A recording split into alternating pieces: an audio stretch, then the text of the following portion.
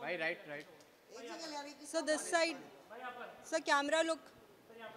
This side Munawar भाई। Munna sir इधर। अरे रुको तो एक मिनट भाई। मुन्ना भाई इधर।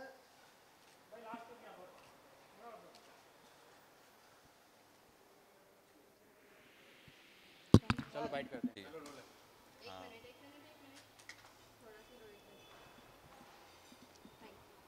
हाँ तो घर वालों ने एक पार्टी रखी थी और मैं बहुत मैं ऐसी, इस तरह की पार्टी का मैं, पार्टीज़ नहीं करता हूँ। मैं पार्टीज़ बहुत, लाइफ में बहुत कम गया हूँगा और जो एक पार्टी थी जो हमने करी थी और लॉकअप से आने के बाद नेक्स्ट डे और उसके बाद ये दूसरी पार्टी है जो मैं अटेंड कर रहा हूँ। तो मज़ा इस पार्टी के बारे में ये था कि इसमें मेरे सब पुराने पुराने लोग थे। जो मुंबई में पंद्रह साल पुराने दोस्त थे, जो नल बाज़ार में जब मैं बर्तन की दुकान में काम करता था तो वो वाले दोस्तों को मैंने बुलाया था। और हम लोग अभी भी टच में, हम लोग मिलते रहते हम लोग, मैं लॉकअप जाने से दो दिन पहले उन सबसे मिला था।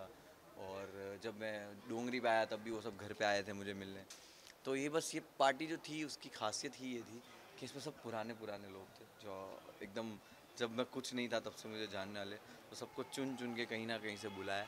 और फैमिली वालों ने एक बहुत अच्छा मुझे लाइक मतलब ऐसा फील कराया कि मैं कुछ हूँ।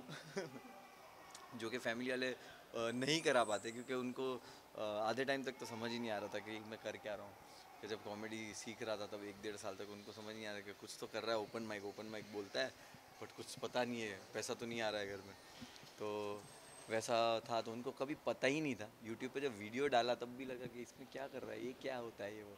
फिर धीरे धीरे जब घर के नीचे लोग आने लगे चॉकलेट लेके कोई आ रहा है कोई तो वैसा वैसा तो उनको लगने लगा कि हाँ कुछ तो अच्छा कर रहा है। तो आज सब लोग यहाँ पे थे मोस्ट ऑफ़ मतलब 90 परसेंट लोग यहाँ पे थे और उनके साथ मैंने बहुत अच्छा टाइम स्पेंड किया। मैं आज बहुत आज मैंने आज मैं गाया आज स्टेज पे मैंने परफॉर्म किया अपना ही रैप सॉन्ग मैंने आज नाचा अपने दोस्तों के साथ तो बहुत अच्छी फीलिंग थी और बहुत खुशी हुई।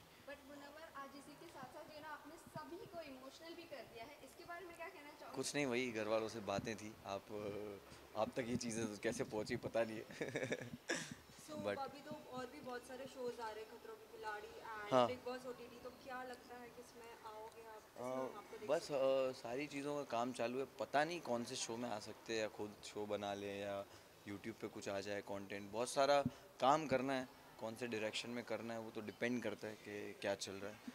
तो लेट्स सी मैं काम तो करने के लिए पहले से ही कर रहा हूँ। सत्रह साल से कर रहा हूँ तो अभी क्यों बैठूँगा चुपचाप? फ्रेंड्स और के लिए नाम भी आ रहा है हाँ इसके बारे में क्या कहना अम, चाहोगे ये रूमर है या सच है आ, ये मुझे, मैं मैं मैं यही बोलना चाहूँगा अभी के लिए कि मैं अनाउंस कुछ भी नहीं करता हूँ। अगर नहीं भी जा रहा तो मैं क्यों बताऊँ? और जा भी रहा हूँ तो मैं अभी क्यों बताऊँ? एक सही वक्त होगा हर चीज़ों का बताने का तो मुझे लगता है कि फ्रेंड्स और फैमिली आज सब